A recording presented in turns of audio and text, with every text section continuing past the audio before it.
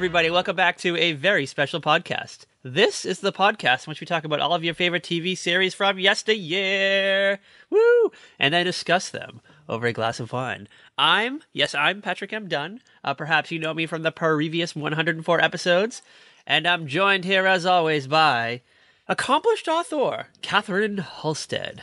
Good morning, everybody. Yes, welcome back. Uh, we it's been like a week or two since we've last recorded. We took a, a quick break, but we are back. Uh, we're back in the 2K018 to bring you all new episodes of the podcast, and we're excited. We're excited about tonight's episode. I think. Uh, We're super excited. We've been getting begged for the new episode. yeah, by one person. Like I have messages, no, by several people. oh, well, I just got one. I don't know. But, uh, you, apparently, you're more popular than I.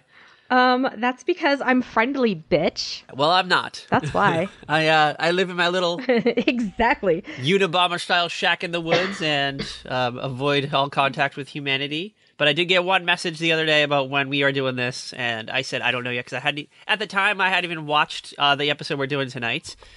Uh, it's not really an episode; it's a movie. We're doing a made-for-TV movie uh, from 1990. We're going way back. We're going back Yes. 18 years. Yeah, 18 years. Holy crap. No, no, no, no, it's not 18 years, 20, 28 years. 28 years. What the fuck am I talking about? what the fuck am I talking about? I was like, wait, 18 was long enough. Now I'm like, wait a minute. I don't know. I, apparently, God, we're apparently, old. I still think it's fucking 2008. 2008 when things were great. yes. Uh, but all right. So yeah. All right. So this definitely does seem like it's 28 years old. Uh, It is a product of its time. yes. So uh, shall you announce the official title because it is it's a it's a long title. Okay, the official title of what we watched is Archie to Riverdale and back again. But it is also known as Archie Return to Riverdale and Archie's Weekend Reunion and several other titles throughout the world. What? I did not know this. Yes, I, I did my research, bitch. I, I would have liked Archie's like reunion weekend. That's like shorter and easier to stay instead of Archie to Riverdale and back, which I no and back again. Is it and back again? yes, and back again. I don't know. It's just it's too too wordy. I think that might have scared a lot of people off. I think. You have to go into this knowing Archie, which I don't think should be that hard because everybody freaking knows like the basics of Archie. And th- there really is not much to know about Archie. Uh, the comics don't really they don't really get in depth, especially like the really older issues. I think today Yeah. the newer ones are a little more uh, character driven, but the old ones just you got you one comic had like five or six different stories in there. Yeah. You get the comic and then you would read these different stories and it's not like they would pick up unless they were meant to be like a longer thing to get you to buy more comics. Yeah, it wasn't like a, um, like the Marvel Cinematic Universe where it was just this long ass story. It just we just saw little short little segments of time. It, it was like a really short Simpsons episode. Is is I guess how to describe Yeah. it. Everything kind of goes back to normal at the end of the at the end of the uh, story at the end of the tale. Yes, they were they were meant to be like easily read, marketed towards kids. Yeah, I, I am. I always like struggled. I'm like, what is the demographic for Archie?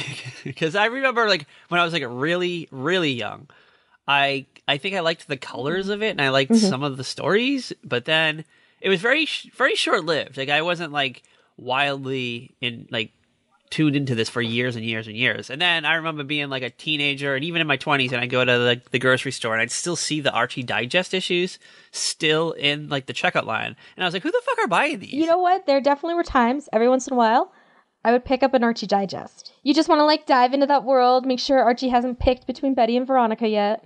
Yeah, well, I mean, it's not. It's never gonna happen. He's never gonna pick. He's gonna be forever like sixteen, and Hashtag Team Veronica. we're, we're gonna like jump ahead into the future a little bit. So today in real life, uh, the the CW adapted very poorly. I will say they very poorly adapted the Archie universe uh, with a a teen drama. Riverdale. I'm sure you've heard of it. I'm sure if you're listening to this, uh, you're you're wildly familiar with it. We love Riverdale. Kat is obsessed. Kat can't stop watching, even though Kat really? knows she shouldn't be watching because it's so ridiculous. Like, I sit here watching it and I go, What is this hot mess? But why can't I turn it off? I finally checked out. I was like, this this show is not good for my health. Okay, this is the thing that gets me about Riverdale. Like, you've got freaking KJ Apa as Archie Andrews, and he is gorgeous. He's got like the nice boy next door charm, and he's cute and he's buff. and all the girls are going gaga over freaking Jughead. You can take him home. You can take him home to mom. I don't know. He'll probably have like a nice conversation with your parents. You can bring home Archie Andrews. You cannot bring home fucking Archie Andrews. You gotta leave fucking Archie Andrews at the fucking doorstep. You do not bring him in your house. Oh my god, you were the worst. I am the worst. Welcome to a very special podcast where I am the worst person in the world. he really is. Can I can I just say the one character I like on actually there's two characters I like on no you know what there's three characters I like on Riverdale. One shout out to Veronica Lodge, uh, Team Veronica. Uh, I will agree with you on that. She's the savior of the show. Yes, Veronica is freaking amazing. The actress who plays her is just phenomenal. Yes, and she's even great in this uh, Riverdale movie that we're going to be doing tonight too. Like she was like the only character I liked. Yeah, I'm definitely I have definitely always been more of a Veronica fan than a Betty fan. Yeah, Betty sucks. Betty sucks everywhere she goes. Yeah, Betty like Betty is the absolute worst on Riverdale. Like I can't fucking stand her. But you know what? They su- they succeeded with her mom though. My second favorite character on Riverdale, Alice Cooper, uh, played by Shelley from Twin Peaks. We're not going to even try to say her real name. Yes, uh Alice Cooper is freaking amazing. Like at first I was like, who is what is with this bitch? But I freaking love her. I love her. They should just do a spin-off of just Alice Cooper sitting around her computer, drinking wine and just like slandering people on the internet. Like on like the Riverdale version of Facebook and shit. I would watch it should be like a talk show, like a nightly talk show. Okay, so who's your third favorite? Uh, my third favorite character on Riverdale is uh Mark Consuelos, uh, Hiram Lodge. Ooga. yes. Shout out to fucking Hiram Lodge. Uh, the show just needs a a good fucking villain. yeah, but eh. Not the uh, what was like the the Blossom dad from last season. He kind of sucked as a villain. like I have no real like connection to the Blossoms because they were never in the Archies that I would read. So or like if they were, they were just like there. I honestly like I thought like Loki. I thought like they were just a character they made up for the series, but no, uh, it's a part part of the um part of the world, I guess. Yes. Yeah, that family sucks. Uh, Cherry Blossom's okay, but I don't know. I, I, I feel like it's um it's like too much of a cliche to like her. So I'm going with Hiram. I'm going with Hiram. I'm going with Veronica, and I'm going with Alice Cooper. That is the trifecta of the series, and I wish you could like download like an ad blocker like thing where you can just block everyone else in the show and just only follow them around. I mean, you did pick like three of the best, like the absolute best characters on that show. yeah, I, I think I did too. And um that that's my Riverdale minute. Unless you have anything to add. I'm just gonna say Riverdale has the hottest TV dads. Oh yeah, uh, we got we got the, the the dreamiest dad of all time, uh, Luke Perry. Hey guys, I'm Luke Perry. Uh, he plays Archie's dad. He's a little more older looking now, a little more mature. He's got some like uh wrinklier lines on his forehead, saggy eyes. Okay, I watched The Fifth Element for the first time the other night. yeah, tell me about the this. boy? Tell me about this. And I was like, oh, Luke Perry's in this. And he's like, who's Luke Perry? And I'm like, he, he was on Beverly Hills 90210 and he's on Riverdale. He's like, oh. And it's just like this weird mind trip because Luke was so young when this movie was made. So he looks so young. He's not all wrinkled. I wouldn't say Luke was Um, young when he had this made. He was younger because he was probably like 42. Okay, yeah. He was more like, he was closer to our age. Because what, what was he? He was like our age, basically. He was like 27, 28, 29 ish, like the first season of 90210. So, so by the time he did The Fifth Element, he was like our age. Luke Perry could have dropped his kids off at West Beverly High School, like when he was on 90210. And like, you know what? He probably did. And they were like, hey, uh, hey, can you come Yeah. here for a minute and do, do a little like screen test with the kids? I don't know. I feel like he could be on the show. He's like, oh, what are you talking about? What are you talking about, guys? Just here dropping off my teenage son, Luke Jr. And they're like, no, we want you to be on the show. He's like, oh, you want to play like a, a friend of Jim's? No, no, no. We want you to be Brenda's boyfriend. Who's Brenda? Like one of Cindy's uh, gal pals? No, no, no. She's one of the students. And he's like, oh. And he has like a little like twinkle in his eye. He's like, oh, I'm gonna, I'm gonna play a high schooler. Ooh, okay. That's the story of how Luke Perry was casted on 90210 because he he dropped his uh his son off at a fictional high school in the in the real world. Yes, I'm totally sure that's how it went. You heard it here first. Hot scoop. Hot scoop. All right. Um, to Riverdale and back again. Uh, this this episode, this episode, this this made for TV movie. Uh, it premiered on Sunday, May sixth, 1990. This is a hot night of television. Do you want to know what was going on in the world of network television? Oh, I'm dying to know what else was on. I mean, I totally know what I was watching, but I want to know what else was on.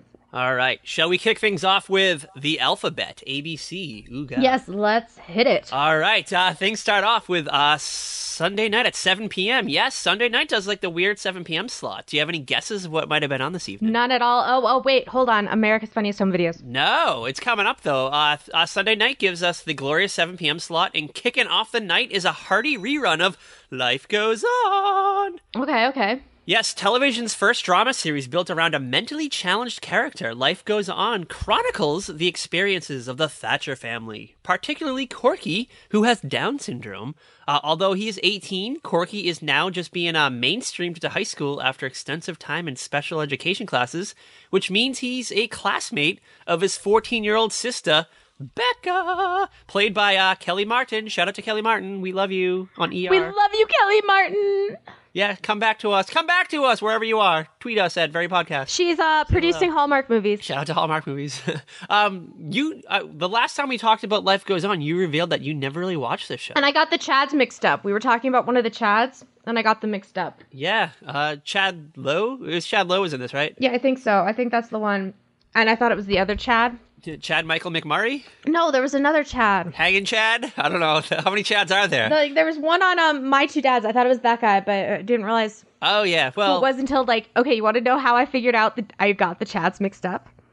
how's I was that? watching an episode of ER, and Chad Lowe was on as an intern for Carter. The season before Carter gets Kellie Martin as an intern. oh, that would have been wild if they were like together, but I don't know. Chad Lowe had to bail. Chad Lowe only lasted like a few season, like a few episodes in the first in that season, and then he shows up later. Spoiler alert: when uh, Carter's about to leave the show. Uh, yes. Uh, side note: uh, check out our spin-off podcast coming soon. Set the tone in ER podcast. Uh, ER just dropped out on Hulu, so we're all geared up. We're geared up and ready to go. Okay, what was on at 8 p.m.? All right. Uh, you teased it earlier. We are going to spend 30 minutes with Bob Saget narrating videos of people getting hit in the nuts by things. Yes, I'm talking about the one and only America's Funniest Home Videos. Basically, life before YouTube. Yes, and that show is still on the air now, though. Yeah. I, I mean, has it been continuously on, or does it like go off and on throughout the years? Um, I think it's actually been continually on. Okay. Um, low key, I have not watched the show since. Uh, maybe I watched like a version in the late '90s when like Daisy Fuentes or something was on it. And that was the last time I've seen it. Like, I think she was on the America's Funniest People Um. with Dave Coulier. Yeah. I might, oh, I gotta tell you a funny story. I fucking I went to a comedy club the other night here in Myrtle Beach, South Carolina. You know when you go to like a like an actual comedy club and they have like the pictures of all the people who've been there on the walls, like the headshots. Yeah. There was a picture of one guy. I just remember seeing this one guy, and they have like all his like credits, his like comedy credits around. And one of the comedy credits said "America's Funniest People," like the show that was on for like eight weeks in 1991 or something like that. Like this, the low key spinoff. I think it actually lasted a couple seasons. Really? Yeah. Let's let me ask Google. Yeah, I think you're right. I think we've talked about it before on the podcast. It was on from it had 89 episodes Whoa. from May 13th, 1990 to August 28th, 1994. Wow, I didn't realize it was on that long. Uh, I know it has the infamous uh, Jackalope character that was. Let's not talk about that. yeah, We're see, not going to talk about that. I forget which episode of the podcast it is. It's one of our um like the the first twenty. If you go back, It's a wine bag. oh, it's a wine bags. Okay, yeah, like I'm, you're going to insert the audio right here. there there's an audio clip of Kat trying to convince me that a jackalope was a real animal, and I was like, no, it's a made up creature.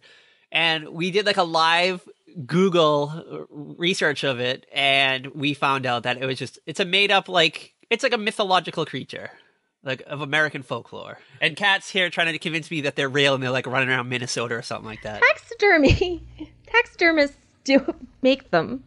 I think like the next day after that, I went to a restaurant. and There was a jackalope head on the restaurant. Are you ready for eight thirty?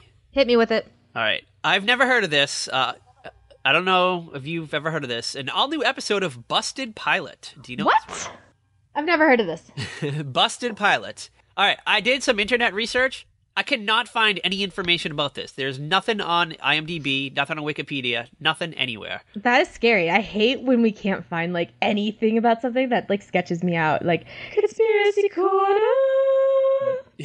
Exactly. I don't know. So who knows if this is real or not? Maybe this is like scheduled to be on, and then they changed their mind and just did like an hour of America's Funniest Home Videos instead. Who knows? Like maybe I don't know. That's so weird.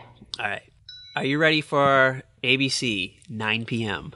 Yes, hit me with it. Hit me with it. All right, Sunday night, 9 p.m. That only means one thing: the ABC Sunday Night Movie. And are you ready for tonight's tale? What is it? What is it? What is it? All right, it's a movie called Burning Bridges. Uh, And I want to take a guess who might be in it. Markie Post. No, close though.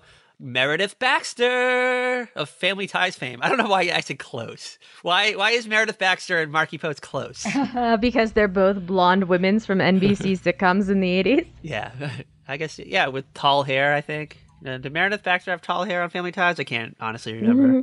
You know, what? I don't think they really either had tall hair. They both had just really bad 80s haircuts. I just assume every lady that was on a TV show in the '80s had tall hair. Yeah.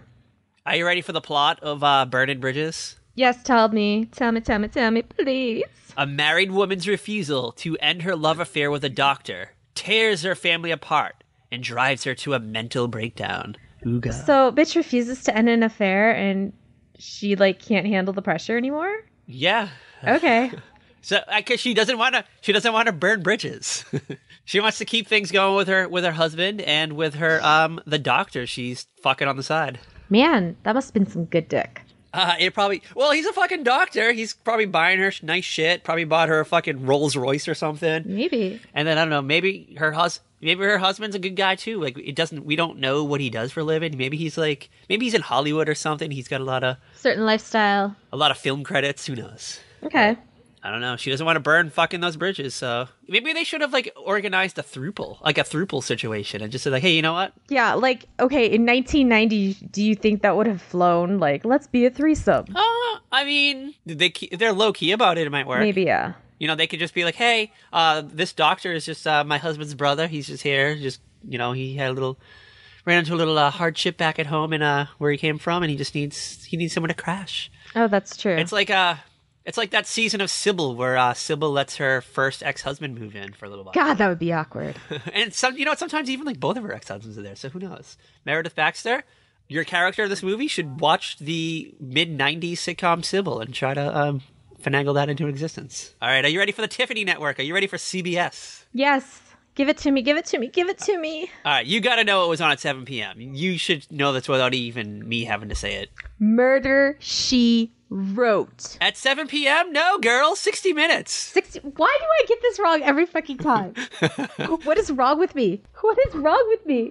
You got uh, KJ Apa on your mind. You're just thinking of his long penis swaying underneath his like gym shorts. I do. I'm, We got a little cat pause right there because she was thinking about it. You, yeah, you have totally seen that GIF on Tumblr, right? oh, yeah. Sorry, my mind went somewhere else. Yeah, she went to that fucking KJ Apa anaconda cock. Anyway, uh, CBS 60 Minutes, uh, the popular news magazine series, famously hosted by Mike Wallace for a million years, and now is the current home of like Oprah. Oprah's on it now, and fucking Anderson Cooper. Is she? Is that what Oprah's doing? I don't know. Yeah, she's like a part-time correspondent. I, I don't know. Um, I don't know. All I know is I had to ask people if they would vote for Oprah or Donald Trump at work, and it was just really weird. uh, wh- what is your hot take on Oprah running for president? I think it's a fun topic of discussion, but I don't feel like that's the sort of president we need in America. I think it's just like a fun Twitter topic. I don't think Oprah will really fucking run for president, and I don't know. I think we need to get back to like not having entertainers. Yeah, exactly. stand behind the Oval Office because it's turned into a fucking The Simpsons movie where Arnold Schwarzenegger's the goddamn president. Like I just like don't want to sit there at work and be like, "Oh my god, is this really the question I have to ask?" Like between a talk show host and reality star. Oh my god, what is my life? My life is a hot mess. Okay, so what was on after 60 minutes? All right, uh, you guessed it. Uh, Sunday night, 8 p.m. Where are you? Murder She Wrote. We're going to uh, Cabot Cove, starring the wonderful Angela Lansbury as uh, I found out her middle name, Jessica Beatrice Fletcher. Yes, Jessica Beatrice. anyway, um, I found the plot of tonight's episode. It's an all new episode. The episode's called The Szechuan Dragon. Hold on. Does Jessica go to a Chinese restaurant and somebody ends up dead? Um, no. this, I don't know. I, I was reading the description of this this episode. It, it seemed like a potential spin-off alert to me. Okay. So I guess Jessica has to go to England to like hang out with the Queen or something. So she invites her nephew and his wife to Cabot Cove to house sit while she's away. Mm-hmm. And while Jessica is away, her nephew and his wife discover the dead body of a peg legged murder victim on the living room floor of Jessica's home. And now, while Jessica's out of town, they have to solve the Hold up. Hold it up. Hold this bitch up. this bitch leaves the fucking country, Yes. and there's a murder at her house. I know.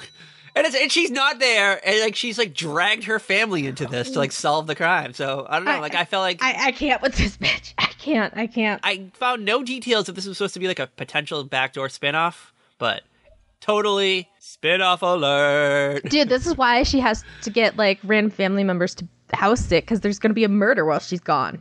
Uh, we'll have to we'll have to dig this episode up. Um, Murder She Wrote's currently not on like the streaming outlet, so we'll have to uh, we'll have to do some some strange channels and find this episode and I don't know find out who the killer was. I guess. Oh my god. What? And it's a peg leg victim. I. I can't. I can't. All right, you ready for uh, CBS? What's on after this? All right, this is wild. 9 p.m. CBS is going to the movies. It's a movie night. Yeah, and tonight they are going cinematic. They're going for a cinematic release for the network broadcast premiere of 1987's The Untouchables. Uh, Brian De Palma's film based on Eliot Ness's uh, autobiography that also inspired an early 1960s television series. We're entering peak era Kevin Costner right here, uh, who portrays Eliot Ness, uh, the man responsible for taking down Al Capone. And Sorry, I'm thinking about that Earth Day scene between him and Meryl. Oh yeah, I forgot about that. Yeah, uh, so Kevin Costner, 1987 to 1995, had like a sexy run of movies. we got fucking, we got this movie, we got uh, No Way Out uh, with Sean Young and Gene Hackman, we got Field of Dreams, Dance with Wolves, uh, Robin Hood, Prince of Thieves, JFK.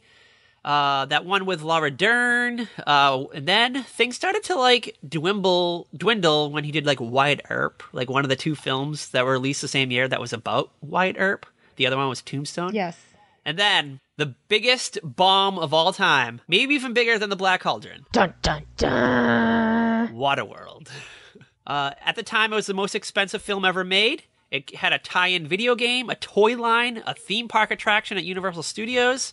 Uh, the budget was 172 million, and in the United States, it only grossed it, it only grossed 88 million. Oh damn. Yeah, I think it made more overseas, but Weird stuff like that usually does. um, I think that's why they had to keep that uh, theme park attraction going for so many years to make to fucking make up for that loss. Yeah, because all the tourists were down with the water world while the Americans were like, bitch, no. All right, we got two more networks that we got to get through. So let's. Uh, you ready to uh, just blast through Fox real quick? Hurry, hurry. All right. 7 p.m. Fox's uh, version of The Outsiders, Okay. based on the movie The Outsiders. This was a um, a drama series that aired from March to July 1990 on Fox. Uh, we've talked about it before. David Arquette's in it, Billy Bob Thornton, and um, yeah, didn't do too hot. Okay. 8 p.m. America's Most Wanted was on. Uh, 8:30, a rerun of The Simpsons. Uh, tonight was the episode called Call of the Simpsons. Do you know this one? Which what, what's that one about? All right, this is a fun season one episode. It's a camping misadventure for the Simpsons. First, they get lost in the woods. They lose all their camping equipment. Uh, then Homer gets mistaken for like a Bigfoot type creature after like falling into a mud hole. Oh, okay. Yeah, so uh, fun season one episode.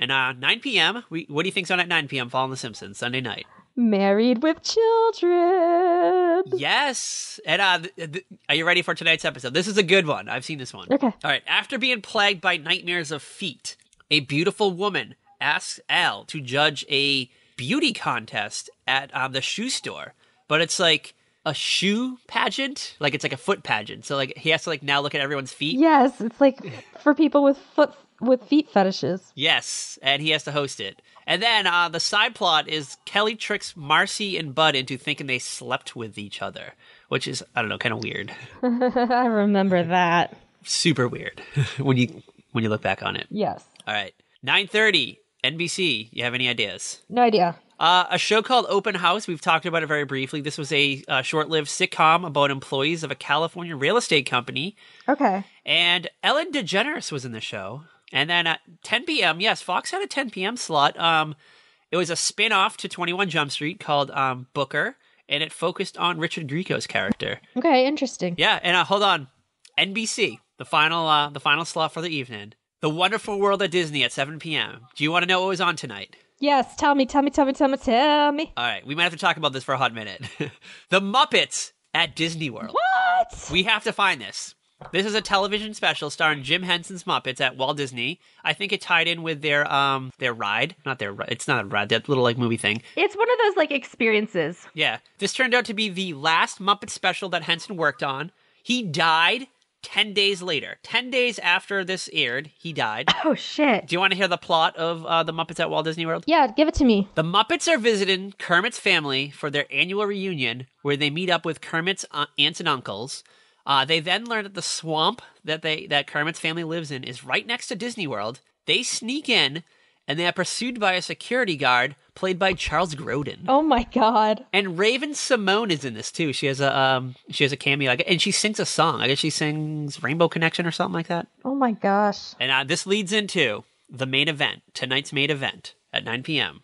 to Riverdale and back again. Yay, finally. And are you ready to go to Riverdale? I am ready to go to the 1990s version of Riverdale, which is total like backlot glory. Do we know where it was filmed? Did you find out this info? I believe it was the same it's the same backlot that you see in um little that movie you like, the kids cursing horror movie thing. It's not Little Monsters. Monster Squad? What what's it called? Monster Squad? Yes, Monster Squad. That. All right, so it's filmed on the same. Yeah, you know what? I can kind of see. Which is like the same backlot they just used for um A Christmas Story the musical. oh, Stars Hollow and Bluebell and all that stuff. yeah. This this lot is really small. So like Riverdale has been shrunk down. We don't really see much of Riverdale. We just kind of see the outside of uh, yeah, you don't see Pop's chocolate shop. Uh, we get like Veronica Lodge's neighborhood and like outside of the school maybe, and and you like get outside of like Archie's house. yeah, we get like a little um like a shot of his picket fence.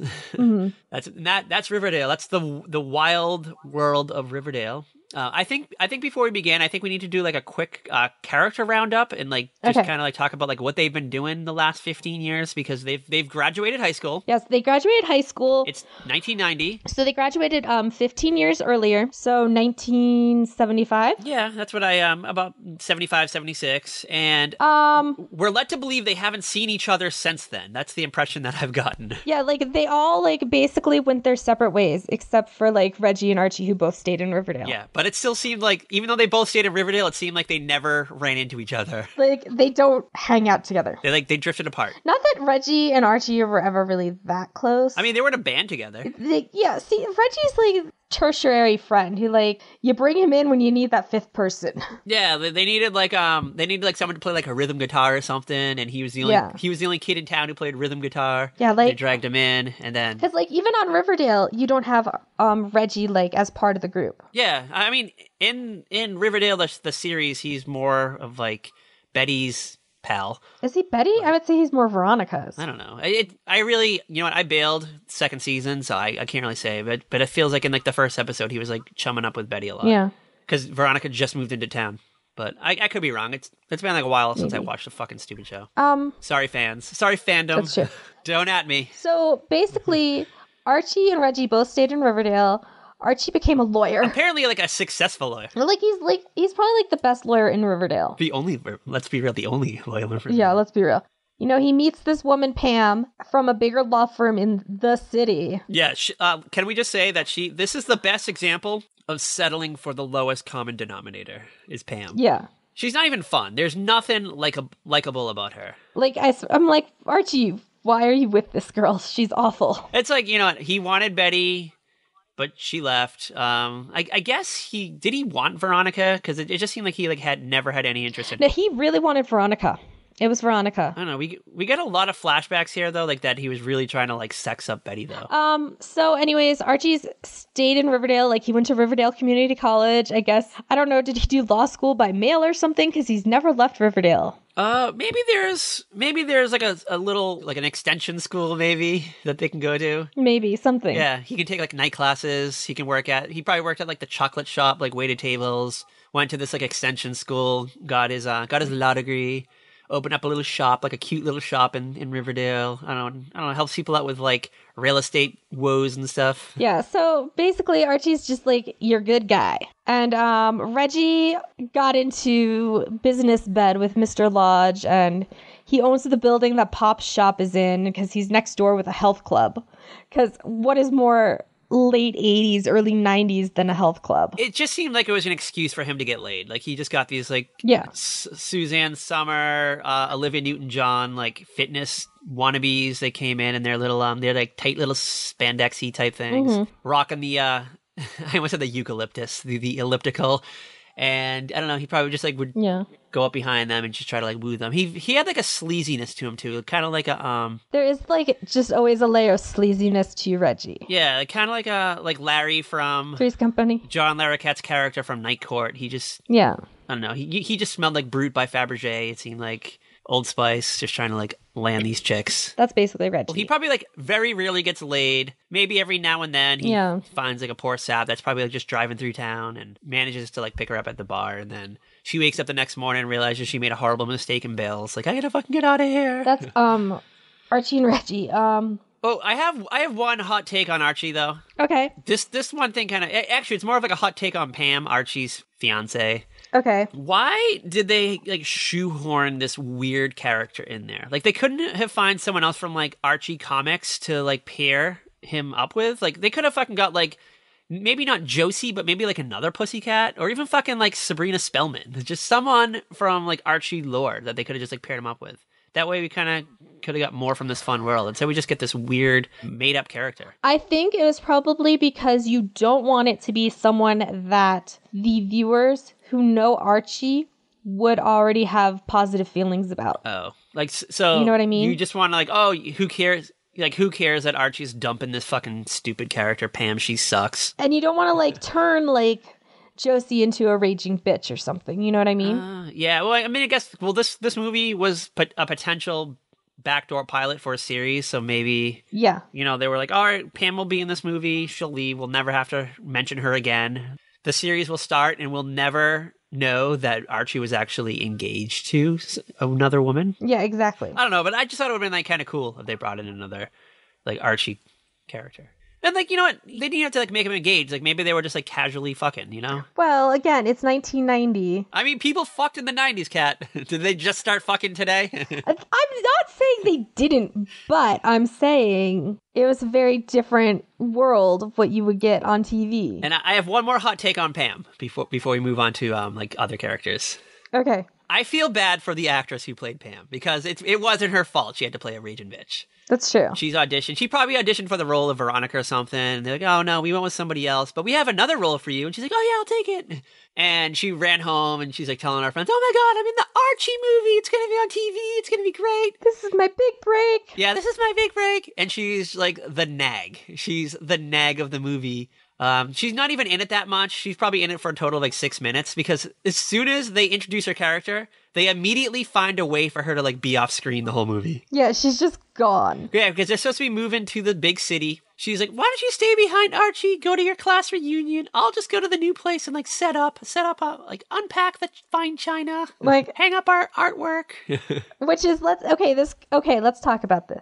This is the woman who basically packs up Archie's house and sends everything to the Salvation Army. yeah, she gets rid of all his shit. Yeah, like- everything he owned, like his like baseball gloves, his like childhood paraphernalia. Just like everything, like everything she did not approve of for their like 90s yuppie lifestyle was gone. Yeah, because uh, Archie is nostalgic. He's like the audience. You know, he he's just itching for this world of yesteryear. Mm-hmm. He wants to save all his old comic books, all his old baseball cards, his old toys, everything from his childhood, like his like Letterman jacket. And she just threw all this shit into a box and just gave it away. Yeah. It's in the 1990 version of eBay, Salvation Army or Goodwill or something. Yeah, something like that. And it kind of pissed off Archie. So that's like kind of like the first sign of, oh, you know, something's wrong with this bitch. Um, but, you know, but I'm stuck with her. which is totally an Archie thing. But yeah, he's like, oh well, this is my Letterman. Like I, there are certain things like yeah, you, you need to let go of, but like a Letterman jacket, Like you earned that. Like he worked hard for that. Archie is known for his Letterman jacket. Yeah, When they draw Archie, he's wearing his his infamous red- Letterman jacket with the letter R. exactly. And this bitch is just fucking giving it away to like I don't know some poor ass teen who's gonna buy it for like three bucks. Exactly. Who didn't earn those letters? Probably gonna wear it as like a Halloween costume for like the throwback '50s party that was happening in like a few months. Okay, so who else do we have? We have um Jughead, who is now a psychiatrist. Let's get into Betty first. talk about Betty. Because I, I have a big hot take on Jughead, and I, and I feel like we should um Okay. let's, let's get into Betty first. Uh, played by Lauren Holly Yes. of Picket Fences fame, and uh, Mary Swanson of Dumb and Dumber fame, and married to Jim Carrey for a little while fame as well. Yes. I think this was like her big break. This is like one of the first few things that she done. Like Picket Fences wasn't even on yet, so Yes, this is like this was like her first major role. Yeah, this is uh Lauren Holly needs to pay rent and shit. Um, has a car payment, and she lands a spot in a TV movie based on Archie comics. Uh, she's got to wear like a platinum blonde wig. It's like obviously a fucking wig. Dude, that was a bad dye job. Drug. It, it was like a drugstore wig. okay. Betty's life sucks. I kind of like feel bad for her. She really wants to be a writer, uh, but instead she like settles for like a teaching job. But I don't even think she's like a real teacher. She's like a substitute. I couldn't figure it out. No, she's like a real teacher. Like she's a second grade teacher. Like that's her class that she was leaving. Well, they made it like seem like that, like she lost her job, like she was done. no, School. it's the end of the school year. Yeah, but like it seemed like she wasn't coming back though. Like she was like really sad and really depressed. Like, oh, I'm not going to be here next year, kind of attitude. No, she's sad because the kids aren't coming back. She's gonna get new kids in the fall. I guess so. I don't know, because like there was like a weird scene like later on, like where she was saying she was like looking for a job, and I don't know. well, she's she has a boyfriend, Bob, who's like the male version of Pam, mm-hmm. and. I don't know. Was he dragging her somewhere? Because like it seemed like they were moving somewhere. I think that's why I got the impression that she was like sad, like leaving, leaving work. I think he, like Pam, wanted to move to the bigger city. I, I, I kind of got the impression that like maybe he didn't want her to work anymore too. Like she's like, you know what? I'm the man. Yeah, probably not, because he's like, because he's the man, and um, he makes enough money that she doesn't have to work, and you know he can just knock her up, and then they'll have a bunch of babies, and he can go find like little floozies on the side. Yeah, I, I mean, I f- low key like, wouldn't that be the ideal thing for her? So she can like focus on her writing instead of like having to like mm-hmm. correct papers and stuff all the time and like do read book reports and shit. Writing her weird little Easter egg hunt stories. Yeah, like well, she she wrote like weird like kid kids books, I guess. Yeah. And then she kind of creeps into like the sexy romance novel territory by the end of the movie. We're jumping ahead a little bit. Well, yeah, because Archie like kisses her, and she like goes, whoa. She has like a sexual awakening. L- Uh, low key, I kind of gathered that she was still a virgin at this point. Ooh, I could see it. She was still pining for Archie. She still had like fantasies. She still thought about him late at night. Did she live with Bob? Do we know? Like, did they live together? I don't think so. But like, uh, it's again 1990. I could see a guy still going, like, holding on for the virgin. Yeah, and there's a weird scene coming up with uh, Mr. Weatherby and uh, Miss Grundy where they they kind of like shun Archie because they think he had a child out of wedlock. Mm-hmm. We'll we'll get to it in a minute. Betty's kind of an enigma in this movie, and she doesn't really become like fully fleshed out till like later on in the movie. But by then, it's like too late because it's like I already had my opinion formed that Betty sucks. Betty sucks. Hashtag Betty sucks. That's what I was gonna say. Shall we like liven up a bit? Shall we get into um to our gal pal Veronica Lodge? Veronica, my favorite. Loved Veronica. Um, I'm a Veronica stan. I just love her life. Like her life since Yeah. she graduated high school. She left Riverdale. She's just been chilling in Paris with daddy's money. She's been married and divorced four times. Mm-hmm. You know what? She's still not satisfied. She just wants a little Archie D inside her. Yes, she just wants that Archie dick. Yeah, I mean, I think for Veronica, she always wants something more down to earth. She's always been propelled into the more jet set lifestyle, Yeah. and you get that with Veronica in the comics. You get that with her on Riverdale in this movie. So Yeah, like I know in um in Riverdale the show, um Veronica moves back to Riverdale from New York City, and she's just kind of tired of that like club life and like hanging out with like celebs and shit. Mm-hmm. Now she just kind of wants to be a normal person, and that's kind of Veronica in this movie too. She spent 15 years living abroad, got married four times, probably like goes to weird fashion shows, um, probably canoodles with like the Lindsay Lohan types of that era. yeah, she's like she's all over the tabloids kind of girl. And now she just wants to go back and just like land herself like a regular dude. She pulls out the old Riverdale phone book, checks out to see that Archie's still living there, and she just wants that fucking Ar- Archie D in her V. Mm-hmm. I don't blame her. Archie in this Christopher Rich plays Archie. Yes, Christopher Rich. 1990 Archie is like a stud. Mm-hmm. He's got like the muscle dad bod. You know, he's not he's not like ripped, but he's like he's a little little chunky, but he's still got like he's still Yeah. got the pecs and shit. We do get like a shirtless Archie scene. Yes, we get shirtless Archie. We get. oh, you know what? Archie would be a catch. Like if I was on Bumble or Tinder and like I saw a guy like Archie in this movie, swipe right. I have a good son scenario for you. Oh shit! Fuck me. Welcome to the Good Son scenario game. This is the game where um, KJ Apa and Christopher Rich, their versions of Archie. It's like a weird alternate universe where um, Archie, the two Archies collide. They're on the same plane for a rare moment. They're fighting near the edge of a cliff.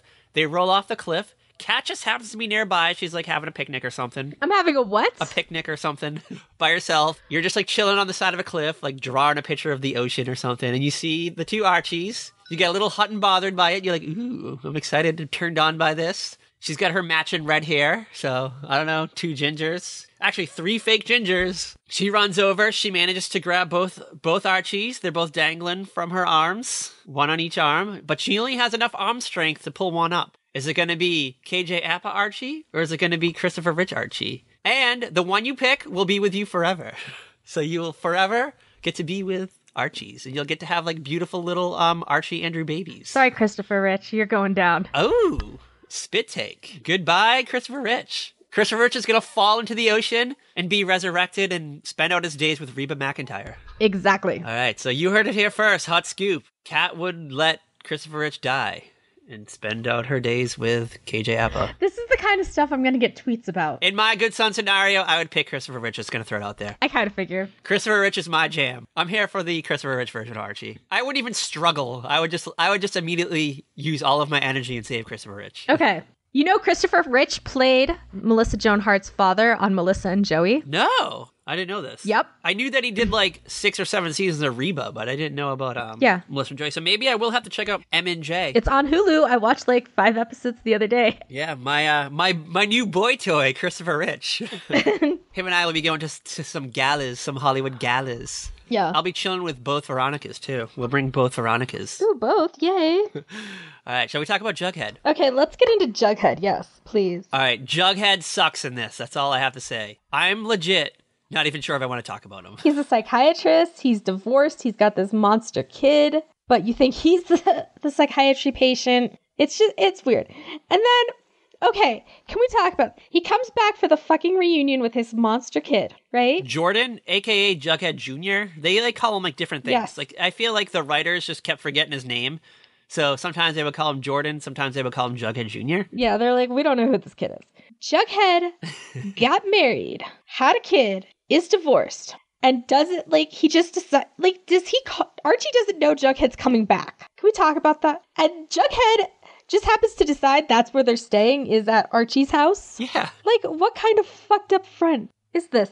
It's weird to me too because in the very first scene of this movie, they show Archie's house. There's a big sold sign on the home. Mm-hmm. I guess Archie and Jughead haven't talked for a long time because like Archie seems surprised that like Jughead had a, had a kid. Yeah. Low key, like legit, like how does Jughead know that Archie still lives there? One. Yeah. Like who? Like how does he not know? Like a, a new family moved in. Two. Archie just left the door unlocked because when Archie comes home at one point, Yeah. Jughead and his kid are like already settled into the house. It's like Archie is surprised to see a child in his house. And he's like, Who the fuck are you? Like, why are you in my house? Yeah. Like, like, why are you here? Yeah. Why are you here? Why are you in this? Like, why aren't you at your parents' house? Or like at a hotel or something, like a holiday inn or something. Yeah. Like, why doesn't Jughead call up like Archie beforehand? He's like, Hey, I'm coming into town. We should like definitely meet up. Let's like meet up first and then like figure out like the sleeping arrangements. But no, it's I'm just gonna stay at Archie's with my kid that he doesn't know about. Jughead Jr. also invites uh fucking Moose and Midge's kid over too to like sleep at Archie's house. Yes. Without even like consulting Archie. like it brings a fucking friend that he just met. Yeah, and both these kids hate Archie. They team up and like attack him. They shoot him with like weird like Nerf gun and like dart guns and stuff. and they put jelly in his bed, and it's it's just like, what is this? What is this?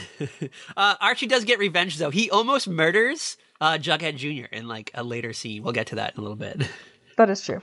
he legit like actually almost kills him. But yeah, so the movie basically starts with like it's just like this one of the last days Archie's gonna spend in Riverdale. Pam has gone back to the city. He's like finishing up like a court case he has.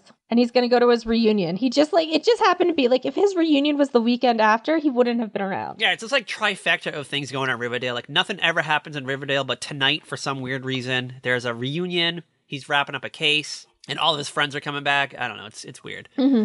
And I don't know. If we get that weird, like he's walking around Riverdale, he's like, "Oh, this is gonna be my last day. Look at, ooh, let's go to Pop's chocolate shop. Let's, you know, say goodbye to him." And the nasty teenagers that are working there now, who are always like on Archie's ass, like they're nasty little shit. Yeah, they're like weird modern day teens. They're they're mean. They don't have like good values. They swear and mm-hmm. like fuck with his food and stuff.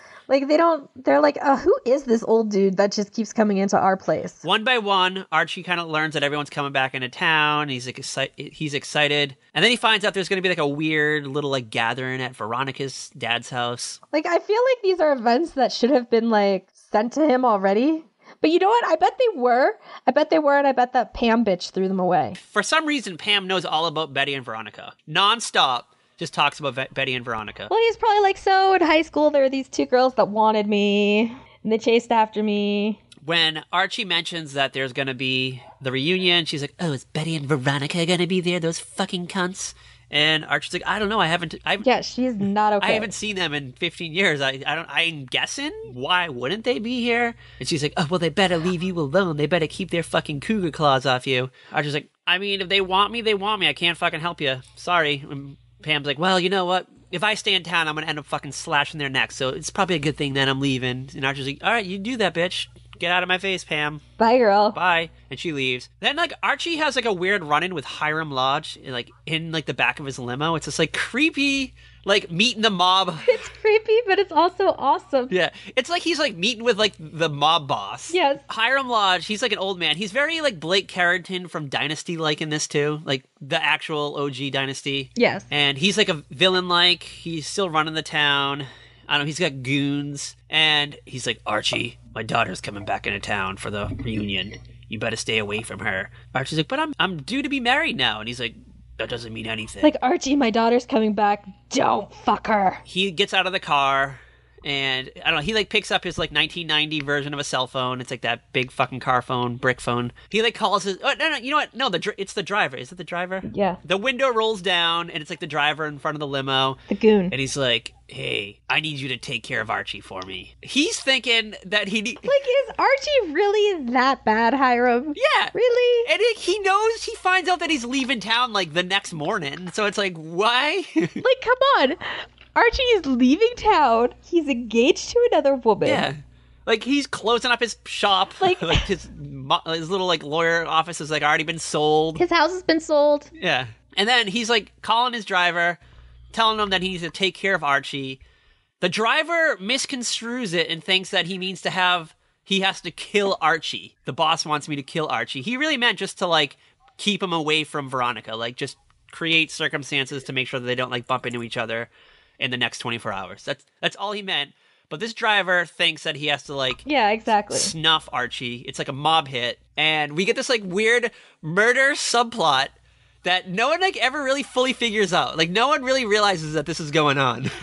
No, it's amazing though. it's great. I fucking love it. It's fucking perfect. Like seriously, Archie is just like this harmless guy. yeah, like it's never traced back to Hiram, like that he might have been involved. He might be a like low key hitman. Yeah, it's, it's not like Archie like says, you know what, I want to be a dick and I want to like string Betty and Veronica al- al- along this whole time. I don't think most guys want to string somebody along. Like I think there's genuine feelings there if there's but there's also a fear of commitment. I mean, I don't blame Hiram because Archie's kind of weird. Like he's like, I don't want you for a fucking son-in-law. Let's be real.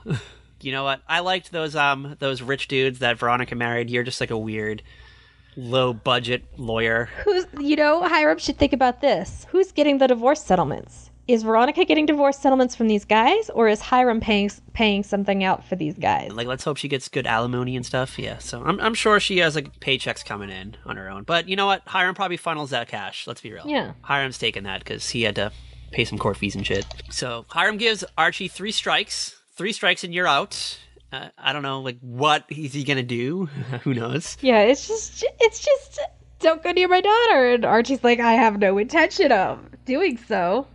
I like want to say hi cuz we were like really good friends, but I haven't talked to her in 15 years. All right, so this is where shortly after this, this is where um, Archie now heads home after his weird, like clandestine, like meeting with Hiram. He reunites with. Um, Well, no, no, no. You got to remember he goes to see Midge and Moose, oh, oh yeah, that's right. Midge and Moose, they're chiropractors now. and it's hilarious. and legit, every time we see Midge or Moose in this, they're cracking somebody's neck, which it comes up like a bunch of times in this movie. Yeah, that's that's like their whole point of being. Yeah, and uh, Mo- uh, Moose is very like Biff from Back to the Future, like. Yes. I'm surprised they didn't find the same actor who plays Biff to be in this. He must not have been available. He must have been filming Back to the Future 3 maybe at the time this is going on. Who knows? Something. I don't know. So he he gets his neck cracked. Then I don't know. He like swings by the chocolate shop. He finds out that fucking Reggie is buying the chocolate shop. He's gonna expand his um, business, his little gym business. Yeah, he doesn't know this yet. They don't find that out yet. Oh, I'm just kind of like breezing through this because we're already like an hour in. You're like jumping around. So then Archie goes home and finds Jughead and the kid, and it's like, oh yeah, you could totally stay here. Hey, we got to go to uh, Veronica's now. Yes, we got to go to the big party, the big gathering. It's the pre-party, the event of the season. It's that's what rich people do. They have these wild events, and this is where Archie gets reintroduced to the gals, Betty and Veronica, and Yes. Well, first, like the girls reunite, and Betty's in like a dress she got on sale, and Veronica's in some designer thing. She can't even remember which designer. yeah, she there's she has so many designers in her back pocket, and soon as Betty sees Archie, she's like trying to lose her boyfriend. She's trying to like, oh Yes, it's like, oh, the boyfriend. Yeah, you can go away now. Yeah. Um. Oh, can you go get me some shrimp cocktail? Oh, can you go refill, refreshen my drink? Oh, can you go? Can you go get me some punch? Like she's just constantly. Betty is desperate for Archie, and Archie's always kind of been like, oh, great, thanks, Betty. He's trying to, you know, he's trying to like kind of link up with her too, but he's trying to be low key about it. And he, you know, they keep mentioning their significant others. Veronica overhears this. What? What? Archie's engaged? And she's mm-hmm. so she now has to go into like threat level midnight and just come at it full force. Cuts cuts the red tape, struts up, goes up to Archie, and is basically like, you know what, tonight Yes. I'm coming by your house, make sure you're there, leave your front door unlocked. I'm gonna mend your tie. Jughead's children or Jughead's child, Jordan Jordan Jughead Jr. What the fuck his name is? He is like all what's he say? Waka waka every time that he Yeah. sees Veronica. He is smitten with her too, I mean, she's Veronica, of course. The kid is smart. He's Team Veronica. but he's still a jerk. He's still a jerk though. Never forget. So, While all this is going on, um, Hiram is not at the party. Instead, he's like on like the fourth floor of his mansion, looking out a creepy window, watching from above. glaring at Archie. peeking through the curtains, just staring at Archie and uh, Veronica. Sees like Veronica like throwing herself all over him, but for some reason he thinks it's like Archie doing it. He doesn't realize that like Veronica is the one that's chasing. Veronica has chased Archie. And he does that thing where he like turns around, faces the camera, like shakes his fist, and is like, "Strike one, Archie." Strike one. Ugh, strike one. And I don't know. because Archie is so awful. So then, I don't know, I guess the party ends early. The party only lasts like 20 minutes. So now, like, Jughead is going to give Bob, Betty's boyfriend, like, like the tour of the town. Yeah, because, well, okay, here's the thing. Um, Archie talked to Bob a little bit and realized that Bob is a total, like, creep. And so he wants to, like, this is where I think, um, Betty gets confused is that Archie is a good guy and wants to protect her. But she thinks it's Archie's in love with her and wants to have babies with her. Betty is totally misconstruing the situation. So they they orchestrate it so that Jughead, Jughead Jr. and Bob are going to be like riding around in Jughead's convertible, like going around town, getting the tour.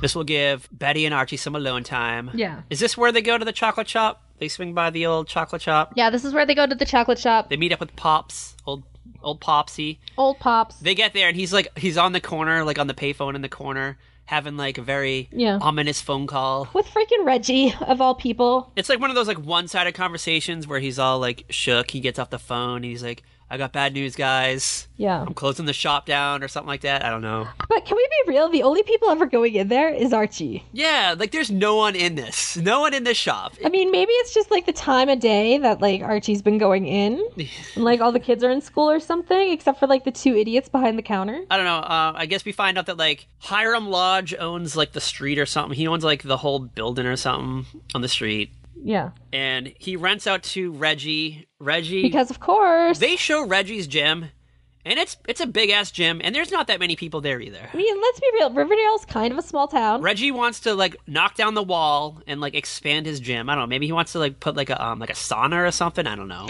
Yeah, I was thinking he must want a steam room or something, like another excuse to get the ladies half dressed. Maybe like a pool or something. A little like Olympic sized pool. Archie finds out about this. He's pissed. So he like runs over, confronts Reggie. They get in this like weird little argument. Archie heads back over to Pops and he's like, "All right, it didn't work out. Didn't work out well. You know what? I'm going to be your lawyer. I'm going to represent you in this." Yeah, well, I mean, it's, again, it's a small town. So he, like, goes by the judge's house and is like, Judge, what can we do? Yeah, he's like, you know, since I'm leaving town tomorrow, do you think we can like bump up this trial? Can we have it today? Can we get it on the docket? Exactly. It's like, can we get on there? Can we, like, have court in session this weekend? Yeah, he's like, can we have like Saturday court? Because it's, it's probably like a Friday night or something. He's like, can we have court tomorrow before I leave town? Can we have it like 8 a.m., like early ass in the morning? Because I need to get out of town. And the judge was like, no, Archie, that's not how things work. Yeah. Um, you know, just because you're the only lawyer in town, I'm the only judge in town. And apparently, like, we're the only two people involved in the court of law, except for Hiram, Hiram's lawyers. Like, we, we need to do this, like, through proper channels. We need to, like, set a date. We need to, like, go through all this. And Archie's like, no, man, like, I always get my way.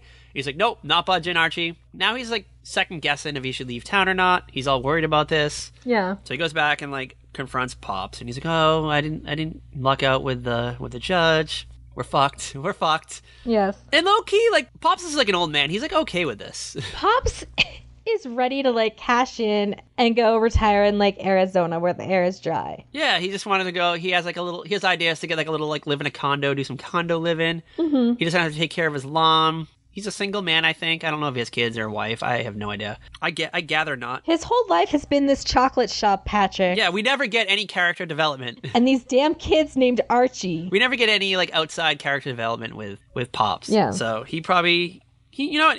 It's his time. He wants to be. He wants to have like Golden Girls type gals for neighbors. Exactly. He he's ready. But Archie's not ready to let this go. No, Ar- Archie's nostalgic. We learned that. He just wants to keep this dream alive forever. Mm-hmm. But I guess he needs to go home. He needs to go home first, though, because it's getting late. Gotta go home to bed. Yeah, so he goes home. Uh, Jughead Jr. and Moose's kid are there. They're like sleeping on the floor, like behind the couch, and they like poke their heads up and they're like giggling because um, they set all these fucking traps up around the house, like the Jello in Archie's bed. He like Archie slips into his little fucking flannel PJs, hops into bed. He's just ready to settle in for the night. Maybe like work on the case, work on the old pops case. Yeah. And he feels something slimy in bed. And he's like, "What the fuck is this? Oh my god, it's green Jello. It's all like melted now." So It's like it's just gross. Gross, gross. Looks like fucking Slimer from Ghostbusters shot through there. Yes, exactly. and before he really even has time to react to that, Veronica's in his doorway in lingerie. Yeah, um, well, Ver- Veronica comes into the house, walks in the front door. The door's unlocked. Archie doesn't lock the door. She's wearing like a red trench coat. Mm-hmm. The kids see this. Um, Jughead Jr. and Moose's kids see this. Veronica goes upstairs. The kids decide they're gonna like watch Archie have sex, so they go out back. They find a ladder. Well, because hello, Veronica is this hot woman that they're like, oh my god, Hubba hubba. Come on. Yeah.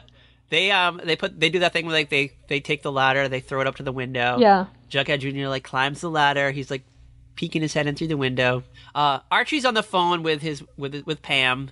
Like, oh, sorry, I didn't call you. I said I was going to call you earlier, but I didn't get a chance to. All this crazy shit happened. And Pam could care less. Pam couldn't give two shit. Yeah, Pam's like, I already set up the uh, dining room. The new furniture set is coming tomorrow. The new appliances are coming on Tuesday. Um, yeah, you you need to you need to get here asap. And that's when Veronica like stumbles through the door, rips off the trench coat. She's in some sexy fucking Ver- uh, Victoria's Secret, Veronica's Secret. Let's be real. Archie's like, I gotta go, and like hangs up the phone. And you know that he instantly got a boner. He got a little Archie boner. Yeah, let's be real. And he's trying to hide it though. He's like, oh wait, I'm engaged to be married. Oh yeah. I I need to put an end to that. Like, really? Oh yeah, yeah. This this boy. Like Veronica is like, I want you. yeah, she kind she kind of throws herself onto him, Take me. and that's when Archie looks out the corner, looks over Veronica's shoulder, and sees Jughead Jr. peeping through the window. He walks over and he pushes the ladder. They're like on the second story of the house. this is like so messed up.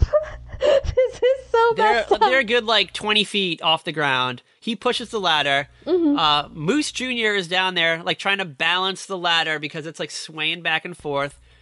Jughead Jr. is like moments away from death. He's gonna slide off that ladder, fucking crack his head open. Luckily, he the ladder like falls into a tree and he's saved, and he like climbs down safely. But I'm just gonna say that Archie was not thinking with his brain, but with his other head. what are you doing? All right, I think you should take us through the last half of the movie. We already just got through the uh, the hilarious setup of the film. Okay, so it's the next day, and Archie's gonna try and figure out how the hell um he's gonna save the chocolate shop. And he's at the library, and Betty's there, and Betty's just like trying to get his attention. Yeah, she's just stalking him basically. Yeah, she's just like following him around. She's like, Well, don't you remember that one night? And he's like, Betty. He's definitely trying to like let her down. Get weird flashbacks right here, where they flashback 15 years earlier. Yes. Low key, I love that they make no attempt to make any of the characters look younger. They just look exactly the same. Pretty much, ex- almost. The only thing is like the girls have longer hair. Jughead's wearing the hat. Archie has his uh, Letterman jacket on. Exactly. It's worse than 90210. It's worse than like Gabrielle Carteris and Ian Ziering, China. It really is. It's like it's bad. Christopher Rich is probably like older than 35 because I, I'm, I figured that Archie's probably like 35, 36 in this movie. Yeah, like they are our age at this point. Yeah, Christopher Rich is probably like closer to 40. Well, actually, and let's be real, 36, 35 is actually not that far. From. Um, I love making Kat feel old. you and the boy both love that. shout out, shout out to the boy. So, um, yes. Um, anyways, Archie's trying to like find some kind of precedent to save the stupid malt shop, chocolate shop, whatever you want to call it. And Betty's like just like on his ass. And he's like, Girl, I don't have time for you. You're not making me hot and bothered like Veronica does, so just go away. But he knows he can make her hot and bothered. They bring up like a weird moment from their past where I guess what did like their car break down in front of like a motel or something. yeah, like their ca- they were like out just hanging out and their car broke down and they had to spend the night in a motel. and they may or may not have fucked. I guess um, Archer remembers it. Betty doesn't remember it. I don't know. I feel like maybe there was just a little um finger action, if anything. Maybe some dry humping. Maybe like a hand job. I don't know. Like they never they never explicitly state what happened. Betty like later on says, "Oh, I totally like later on in the movie she like." Has a revelation and she's like i never forgot what happened that night Really, bitch? Because it seemed like you did. yeah like what happened i want to know like, what happened? Yeah, like, and obviously, like, if you don't remember what happened, it wasn't that good. i don't know They get like all hot and bothered against the stacks of books, and this is where like Betty like becomes a woman. She's like, ooh, she's been turned on for the first time. she has her sexual awakening right here. Like she felt it maybe between his pants. something sparked her. You know what? It's like the that older dad bod archie. He's a little more um a little more puffier. She finally realized here that she didn't love bob. She didn't like bob. Bob it was just kind of like her fallback guy. If things didn't work out. You know what? She was like if i'm 37 and i'm still single I haven't found Archie. I haven't like landed that deal with fucking Simon and Schuster yet. Then I'm gonna have to marry Bob. But she has her sexual awakening. Right before this, she reads Archie like one of her Easter egg hunt children's stories. It's like that's bad. Yeah, Archie laughs at it. Archie is like holding back the laughter. Archie was like, "Oh, Betty. Yeah, like Betty, come on, you're not a writer. You need to Oh, Betty. you need to focus on your on your like schoolhouse gig." And she's like, "Yeah, maybe you're right." Betty has her sexual awakening, and she jumping ahead a little bit, but she works on a little piece, a little like romance piece. all about that night in the motel." Archie has to leave for a bit, and that's when He well, he find like Betty leaves and he finds a book that has like something he thinks he can work with. yes. So he wants to go back to the judge to let the judge know, but uh, little does he know, Hiram's goon, whatever his name is, I don't think he has a name. I don't think we ever learned his name. He's just the goon. He's tampered with the car. He's um he's tampered with Archie's car. That Jughead's been using like all day long. Like Jughead's been like riding this car around. Yeah. He like cuts the brake line or something. I don't know. Something ridiculous. So Archie, Jughead, and Jughead Jr. They're in the car. They're driving, and Archie like needs to stop the car, but he can't slow the car down. The stick shift breaks. The car's stuck in like the fifth gear or something. It's now like cruising through Riverdale, like flying through Riverdale, driving through like hot dog stands. They're driving through fucking bushes, fences, picket fences, like nearly running over the mailman. And then they, they like crash into like the judge's house or something. Yes, because why not? Of all the people whose houses you could crash into in Riverdale. We do, I do love before he crashes in the judge's house. We get that scene like where he almost hits the mailman, and like the mailbag flies up in the air, and you see all like the paper and envelopes flying in the air, and he like the mailman's like scattering to get all the mail. But He crashes into the judge's house. The judge is pissed, and he's like, "If this was your way to making me like have a last minute like court session today, fine. The signal's loud and clear. I'll do it. I'll do it, Archie." Okay. So things haphazardly worked out in his favor. Things always go in Archie's favor. So now we're in court. Archie's there representing Pops. On a Saturday Uh, afternoon. Hiram's there with um, Reggie. They're on the other side. Like, does Reggie have a lawyer at the table with him? I feel like he doesn't. yeah, I don't know. They're doing this weird like courtroom scene.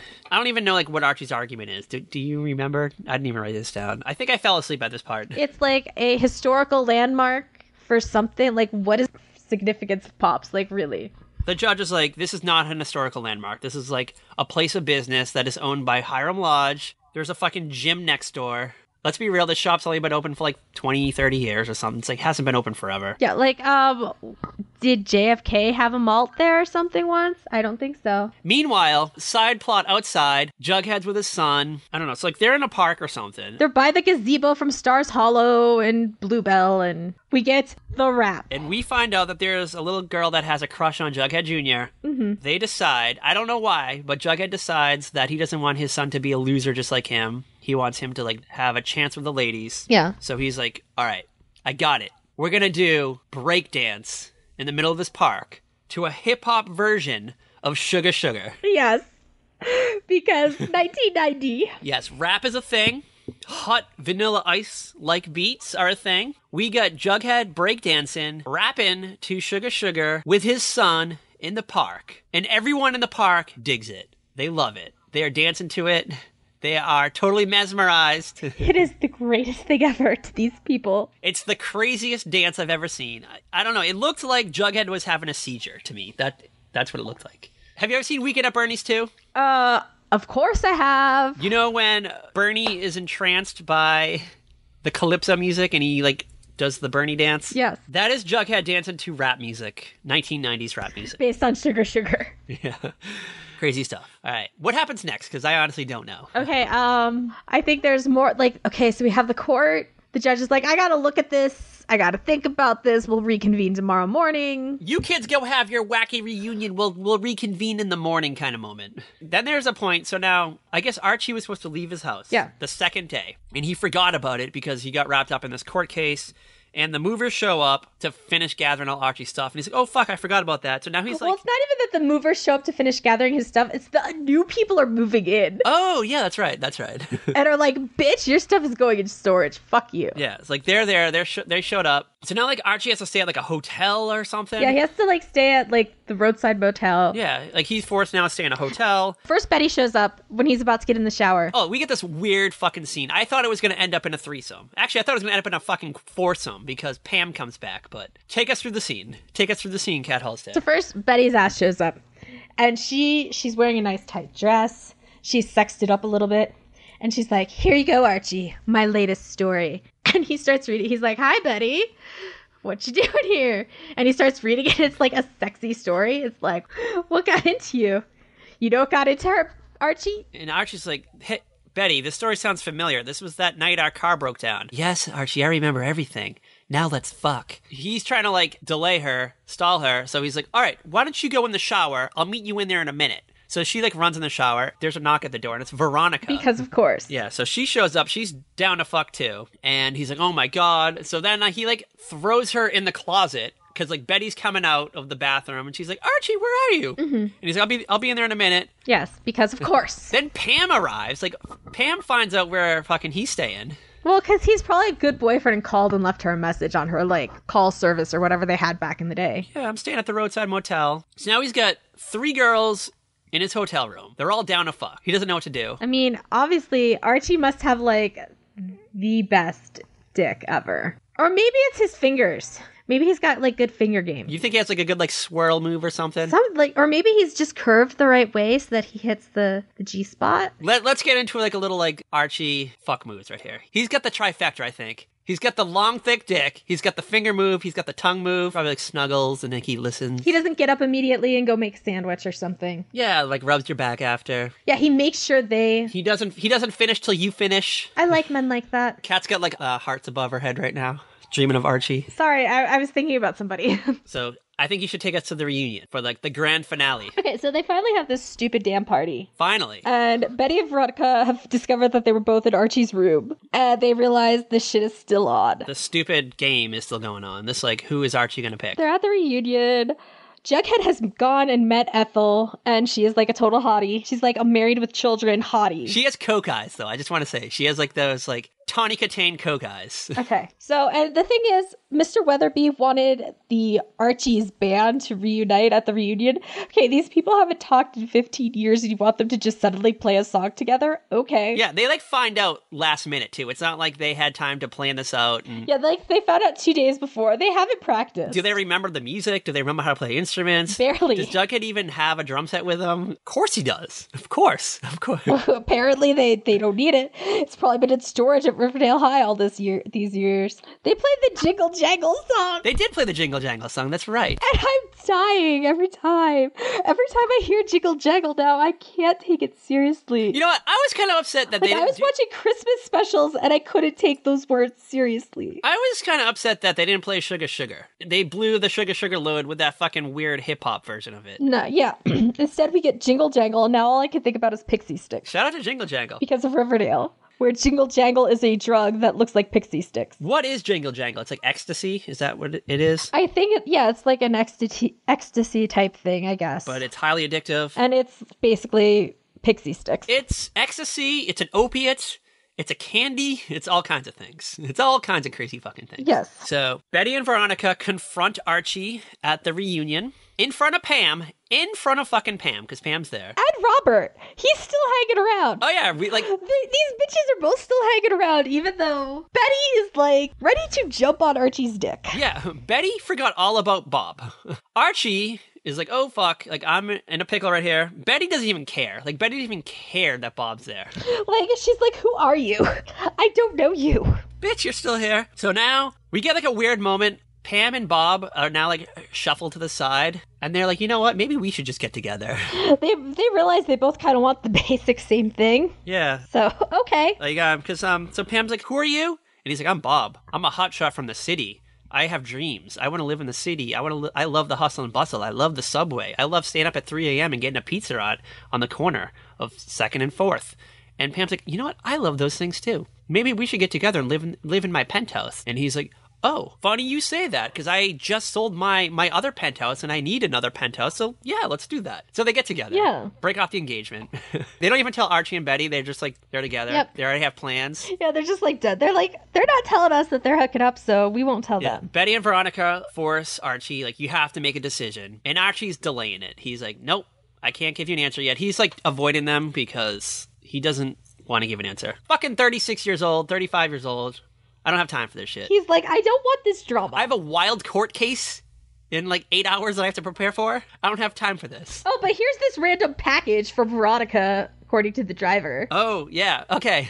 so, Hiram Lodge's driver shows up, Because this isn't messed up enough. hands him like this big ass box with like it's like a Christmas gift, like the old TV thing where you pull the top off, has a bow on it. It's shiny package. It's ticking.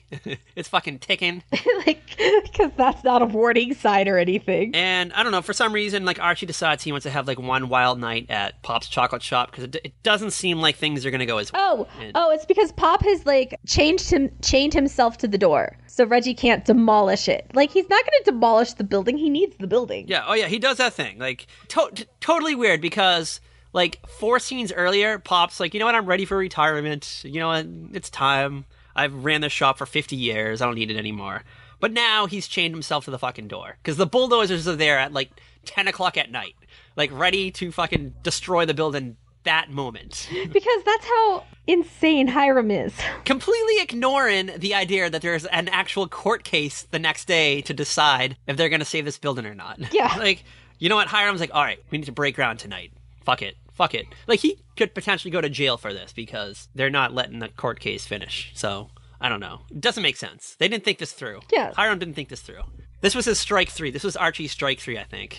I mean, Hiram is like super aggressive about Archie. Like, dude, I bet if he didn't like freak out about Archie, Archie wouldn't be a problem. Yeah. so they all rush down to um Pop's chocolate shop. They're trying to like stop Pop from like dying basically because this bulldozer is just going to plow right through them. They don't give a fuck.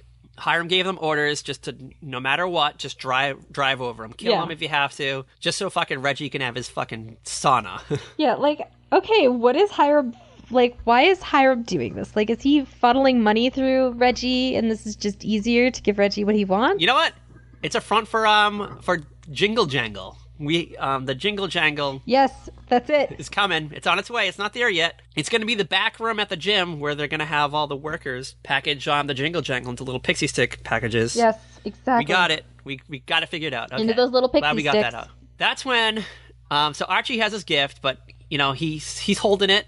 He doesn't realize he has a bomb in his hand. Somehow Veronica finds out about. He's like, why did you give me this? And it, then it's like, oh, it's a bomb. Well, what happens is um, they decide, you know what, Veronica, why don't you go talk to your dad? Veronica, talk to your dad, settle this once and for all.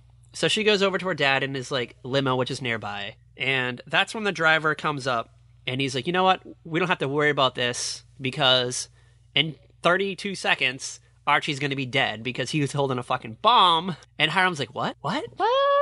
you told me to take care of Archie. And he's like, yeah, to make sure he doesn't go through this court case, not kill him. So Veronica's like, oh, fuck, Archie's gonna die. So she like runs over and she's like, Archie, the present in your hand, it's a bomb. And he does that thing instead of just like putting it down and everyone running away. He's like running around with it, trying to like figure out what to do. It's like that Batman 1966 movie.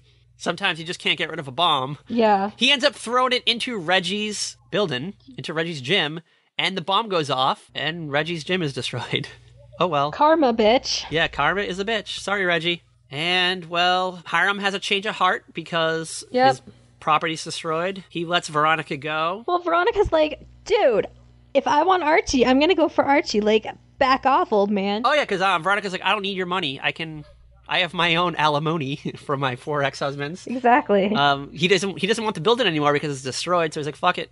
I don't care anymore. But luckily, Pops is um not harmed by this bomb explosion. Pop survives. Yeah, Pop survived. Reggie's gym's gone. Reggie's gym's gone though. It's the next day. Everyone decide that they're going to stay in Riverdale. Betty's going to stay in town. She's going to get a teaching job, work on her um, novel on the side. Jughead's going to move in because he wants to raise Jughead Jr. Veronica's going to stay because she wants to have like a go at go at it with Archie. Hopefully, um, Archie is going to stay in town too, even though he has nowhere to live because he sold his house.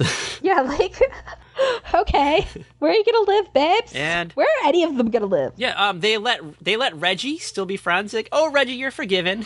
Like, okay, Reggie, you can get in the picture. Might as well. And then we get final moment. Betty and Veronica are like, "All right, Archie, you need to make a decision. Who are you gonna pick?" And Archie's like, "Hold on, let's take a group photo 1st Let's take a group photo." And we get a group photo of them all. And the decision is never made. The movie ends. Exactly, because there will never be a decision. no, there'll never be a decision. And this was supposed to parlay into season one of the Archie as an adult series, which never happened. Yeah, which I would have. Oh man, I kind of wish it had. I know. Like, I really wish it had. Like, I love this Veronica.